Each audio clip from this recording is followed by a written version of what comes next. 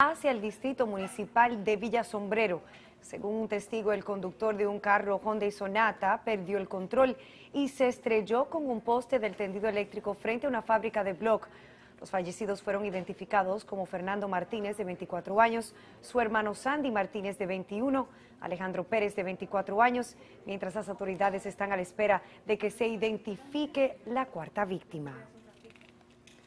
Mientras realizaba labores agrícolas, cayó una avioneta en la comunidad del Mamey del Distrito Municipal de Cenoví, en la provincia de Duarte. Tenemos a Joanny Paulino ampliando el tema desde San Francisco de Macorís, donde una clínica está ingresado el piloto. Buenas tardes, Joanny, cuéntanos.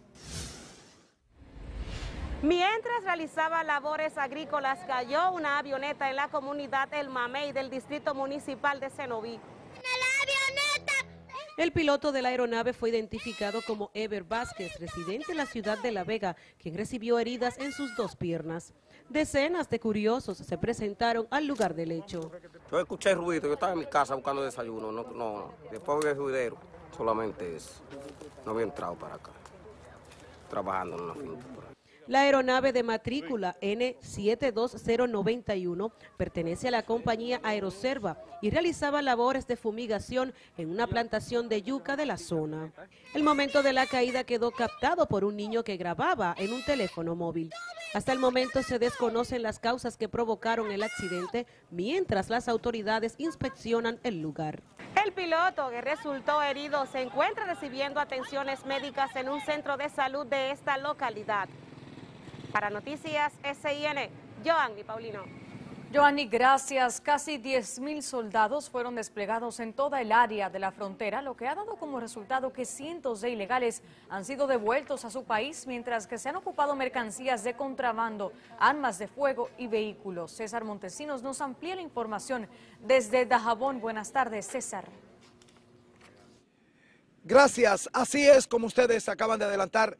Tropas militares han sido desplegadas en toda el área de la zona fronteriza, principalmente concentrándose la mayor parte en las provincias de Dajabón, Elías Piña y Jimaní, entre otras. Esta acción de reforzamiento militar en toda el área de la frontera es supervisada personalmente tanto por el ministro de Defensa, Teniente General Carlos Díaz Morfa, como por el comandante general del ejército de la República Dominicana, mayor general Julio Ernesto Florian Pérez. Estamos trabajando por el bien del país y por asegurar nuestra frontera. Ya está reforzada, la estamos reforzando. Porque el señor presidente de la República, a través del ministro, nos instruyó para que nosotros reforzáramos las operaciones en la frontera precisamente contra el trasiego de mercancías. Ustedes han visto que en, los últimos, en el último mes nosotros hemos capturado bastante mercancía de contrabando y también hemos capturado bastante ilegales. Como resultado de estas acciones desplegadas en los pueblos de la zona fronteriza, cientos de ilegales han sido devueltos a su país en operativos conjuntamente con la Dirección General de Migración.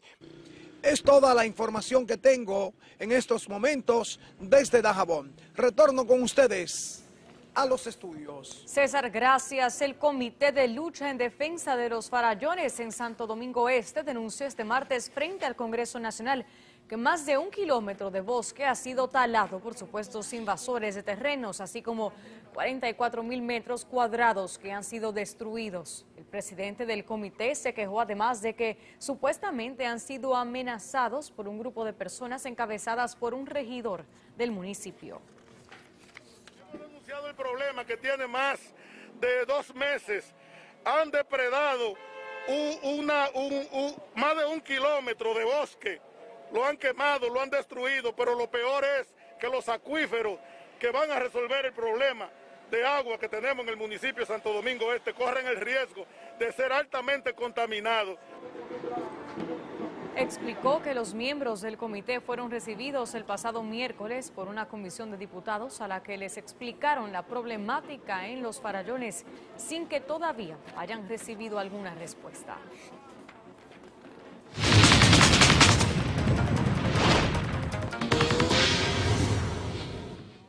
La Cámara de Comercio y Producción de Santiago dejó inaugurada la versión número 33 de Expo Cibao, en esta ocasión de manera virtual.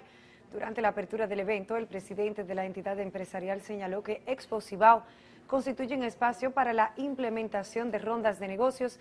El dirigente empresarial dijo que es necesario que las autoridades implementen acciones de que haya estabilidad jurídica, así como régimen de consecuencias para quienes cometan actos de corrupción. Organizaciones sindicales realizaron una vigilia este lunes frente al Congreso Nacional en rechazo a la entrega del 30% de los fondos de pensiones a los trabajadores, señalando que quienes deben cargar con la crisis no son ellos. En ese sentido, llamaron al gobierno a desarrollar programas de ayuda propiciando que las AFPs como entidades individuales hagan aportes económicos o en materiales y medicamentos a las autoridades para contribuir a paliar los efectos de la crisis económica generada por la pandemia. Hay mucho populismo y nosotros entendemos que lo que hay es que modificar la ley y ajustarla para que podamos percibir una pensión digna de los trabajadores, porque esos fondos fueron acumulados con mucho esfuerzo y sacrificio. Indicaron además que lo correcto sería hacer uso de un porcentaje de las ganancias que han sido acumuladas por las administradoras de fondos de pensiones y otorgarlos a los trabajadores. Vamos al país donde con pancartas residentes de la comunidad Las Minas de San Isidro en Santo Domingo Este se manifestaron este martes frente al Palacio Nacional en contra de los desalojos que supuestamente realiza la Fuerza Aérea en el sector. Aseguraron que son amenazados por abandonar los terrenos en un plazo de 15 días bajo el alegato de que pertenecen al Estado. Coreando consignas como queremos un hogar, los afectados pidieron la intervención del presidente Luis Abinader tras expresar que no cuentan con recursos para vivir en otra parte. Antes de irnos a pausa, les presentamos nuevamente nuestra pregunta en el día de hoy. ¿Qué opina sobre la respuesta del equipo técnico del expresidente Medina a las acusaciones de corrupción formuladas por Luis Abinader? Queremos saber. No olvide responder con el hashtag OpinaSN.